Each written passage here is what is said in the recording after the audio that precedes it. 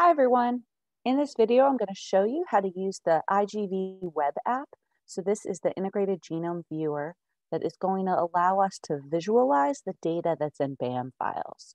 Once you've completed an alignment on Galaxy, you can download the reference genome, the BAM file, the BAM index file. And if you have those on your computer or in a cloud storage tool like Dropbox, you can get a URL and you can load them into a viewer. You can't open the file easily on your computer, but these viewers allow you to see where reads align to the genome, so you can see the depth of sequencing. And when you zoom in to a particular base, you can see if there's variation at that base. So you can see how many reads were called for C, how many reads were called for T, how many for G, how many for A, and you can compare that to the letter in the reference genome. So let's get started with what you need to do for homework one underscore five, intro to IGV. In this homework, we're gonna look at an RNA-seq experiment. So this is sequencing messenger RNA. And we're gonna look at a tame and an aggressive rat and see the difference in gene expression in one gene that's related to behavior.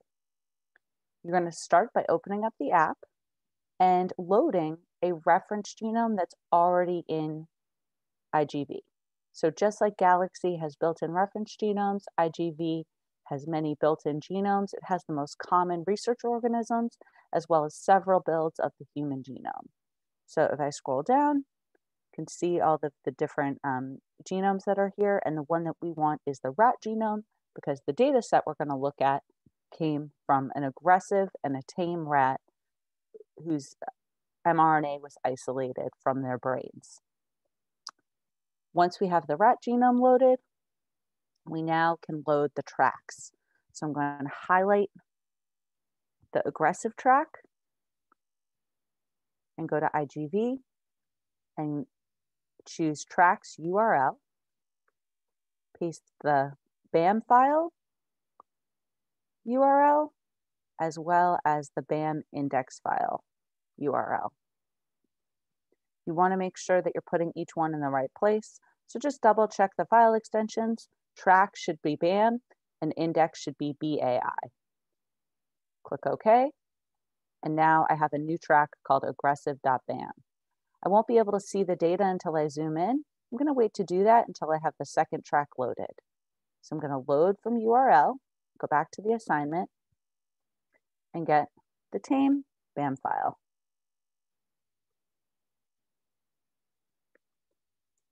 And the tame index file.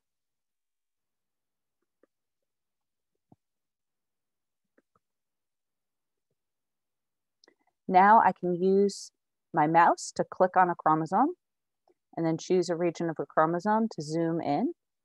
I have to get to about a thousand base pairs before, or I guess this is 5,000 base pairs before I'm able to see alignments before I'm able to see regions of the genome. There will be spots in this data set that don't correspond to exons, and you won't see any data in those spots. Because this is a project that we used to do in bioinformatics, um, I knew where there was a lot of alignment, so I gave you guys a location to look up on chromosome 12, and you can switch chromosomes in a couple different ways. Um, probably the easiest is the pull down menu. So switch to chromosome 12 and you can see it zooms to the whole chromosome. And I can use the zoom tools or more easily, I can type in the location. So chromosome 12, I want to go to 13,218,573.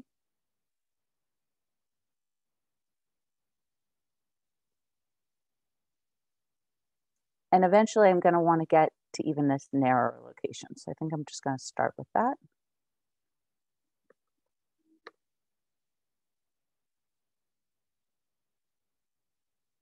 And one thing you'll see as this data loads is that it gives you two pieces of information. It tells you the depth of the sequencing as well as the variation in the sequencing. So the depth of the sequencing is on this left-hand bar, we can see that the maximum number of reads in this region was six for the aggressive data set, and the maximum number of reads in this region for the tame data set was 21. That means that the tame rat was producing more of more copies of mRNA for this gene than the aggressive rat. In homework 1-6, your job is to also use IGV, but to do an additional step. If we have a genome, like our experiment from Genes and Genomes last semester, where the reference data isn't built into IGV, you're going to need to load a reference genome. So I can do that by highlighting the URL. And probably the easiest thing to do is to actually refresh the page and start over so you have a nice clean slate.